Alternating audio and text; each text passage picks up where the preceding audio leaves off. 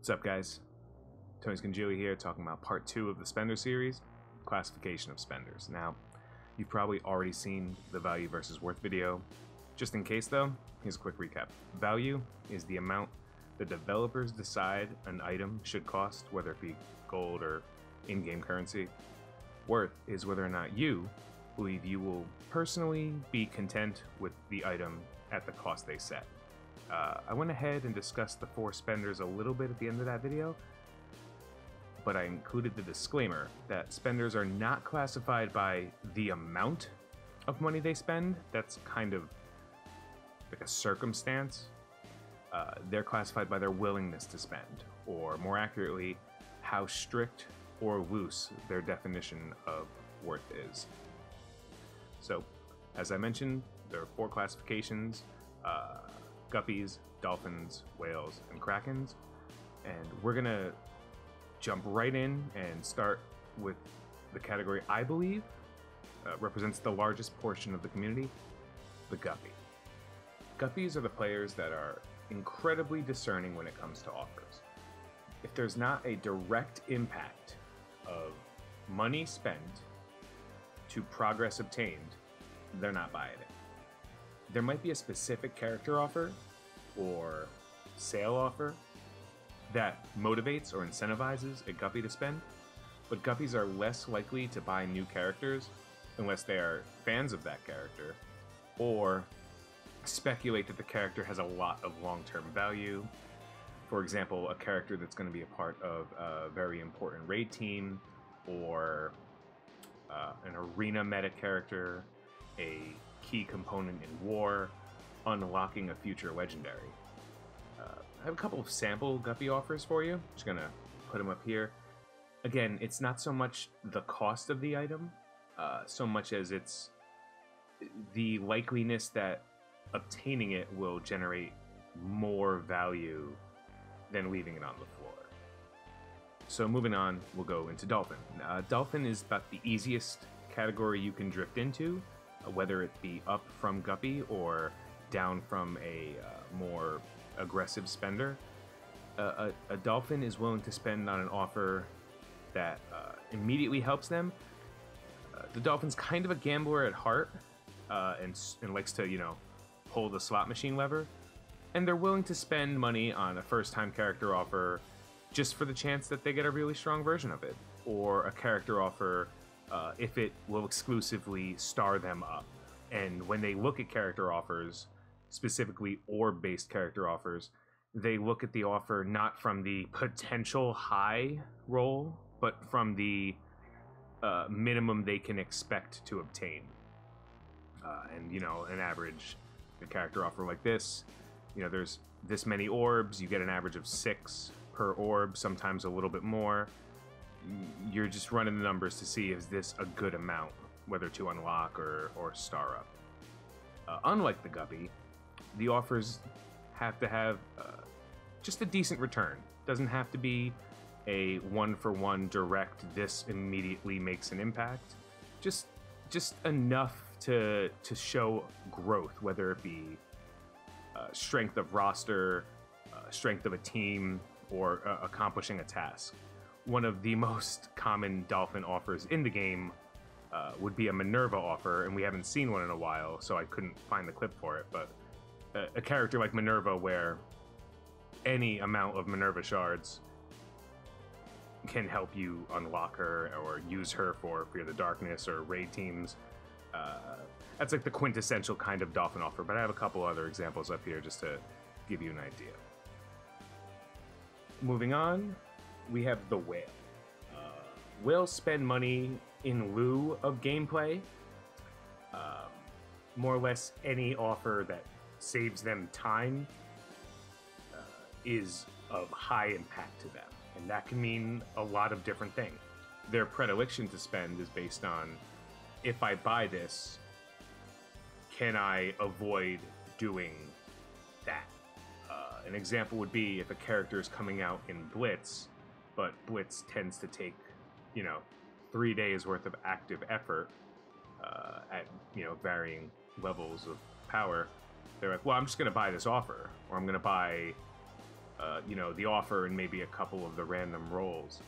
Um, if a character is available through milestones, they're going to say, well, that's an awful lot of stuff I'm going to have to accomplish, and either my work schedule or my free time is, is just not there, and I happen to have cash, so I'm just going to make the purchase in lieu of it.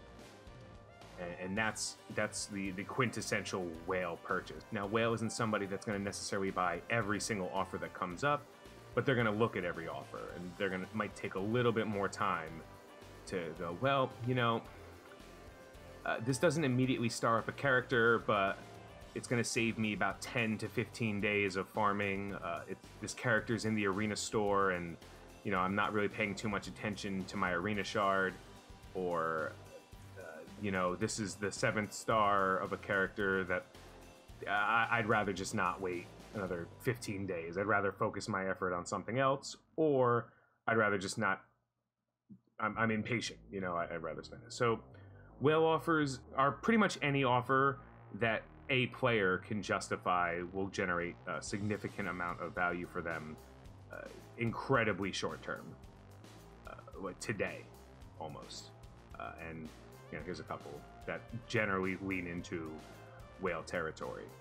And as i said doesn't matter how much the offer costs whether it was a $10 offer or a $100 offer if it's giving them what they equate to time value uh, the amount of time they spend or don't have to spend now because they spent it, they're they're more inclined to buy it. Uh, and that's going to lead us to our final classification, Kraken. Uh, Kraken is oh, not exclusive to this game. Uh, Kraken just doesn't happen in a lot of games because a lot of games don't have the ridiculous cost and nickel and diming that Marvel Strike Force does. Most games either have a very cosmetic level of spending, and you know, for example, uh, League of Legends, you could buy a new character. You know, they come out with what four or five characters a, a year. You buy the character, and that's it. You could spend, you know, fifty dollars a year on League of Legends and have everything you need. But the skins that they come out with, they come out with about twenty or thirty skins a year, and some people just like to collect. Krakens at their heart aren't whales they, they're playing a different game. They're playing I want to collect. It's not as much about being competitive. It, it's not the highest priority of a Kraken.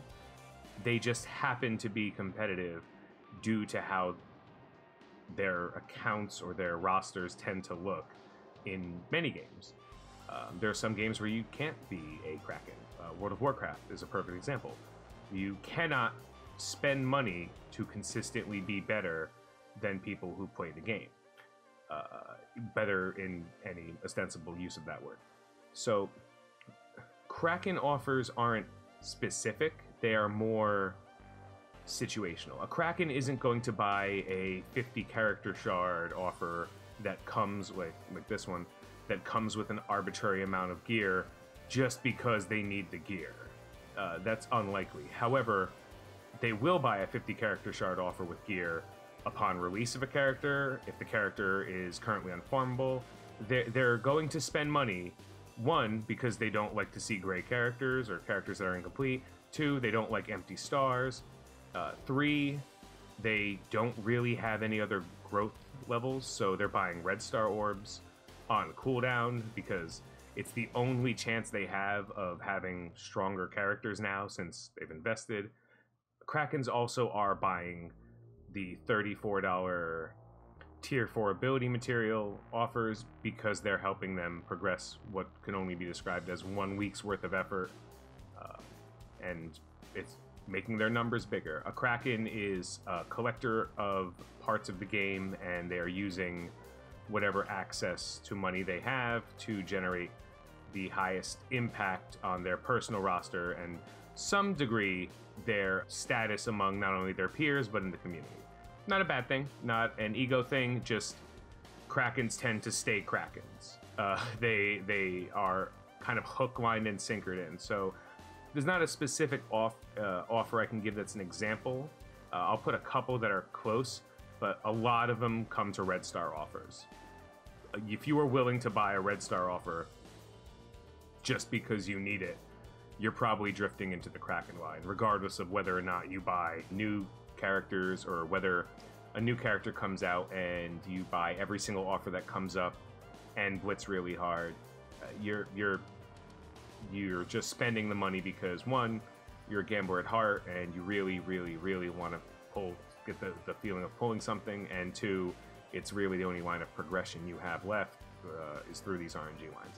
So that that's kind of the four classification of spenders, not just uh, by my definition, but how most games in this industry kind of look at uh, spenders, uh, and and you'll find out from anyone in the industry, they'll tell you that when you open a ticket uh, uh, with support, uh, you know, a little color stamp or a title or a name comes up based on how much you spend, and more importantly, how frequently you spend. If if you spent uh, three hundred dollars the opening week of the game, and you have not spent since, it doesn't matter how strong you are. Doesn't matter if you spent a thousand dollars. That that's not a record that they particularly care about. Like, oh, great, that's nice. But if you are a frequent spender and a frequent high spender, you're gonna have like a gold star next to your name on support, which is saying like pretty much make them happy because they're they're keeping our money going. Um, the last thing I want to say on this, and it's not really related to this, but it, it's it's kind of more of the philosophy of, of spending in, in anything really, and something called the Pareto principle. Pareto principle says, uh, at its core, it's it's basically uh, twenty percent of the causes generate uh, 80% of the effects. And in, in business, or more specifically in marketing, it, it goes a little bit like 20% of the spenders uh, make up for, you know, 80% of the rest of the community. Uh, this game does not abide by the Pareto principle. In this game, taking their numbers at face value, there are, you know, probably about 500,000 active accounts with over a million accounts that are pseudo active or transitioning from full time to casual player. Uh, it's closer to about 595. About the top 5% of the spenders in this game represent, uh, you know, make, make up for the 95% of the rest of the player base. And to that extent, if you are spending 100, 400, $500 a month in this game, you're still not in that percentage. There are people who are spending significantly more than that, almost to a week level uh, or weekly. And there's a common uh, misconception that uh, whales keep the game free for the rest of the community, and, and that may be true. It's possible, but it's not a fact. It's based on how the game is designed. So I just want to get these ideas out there for you so you understand that you don't need to spend money in any game to, to find enjoyment uh, or you know fun. These games games are supposed to be fun. You're supposed to be playing them to enjoy yourself and uh, you know have fr- friends play and build a community and enjoy the Marvel characters or whatever game you play. Really, I don't want to keep this specific to MSF. Everyone plays a lot of different games. I do just want everyone to understand that I don't. I hope nobody feels compelled to spend money in order to gain enjoyment out of the game. Find whatever of these classifications best suits you and be comfortable in that. There's no right or wrong answer. There's no reward for spending the least or zero dollars, nor is there a reward for spending the most money in the game.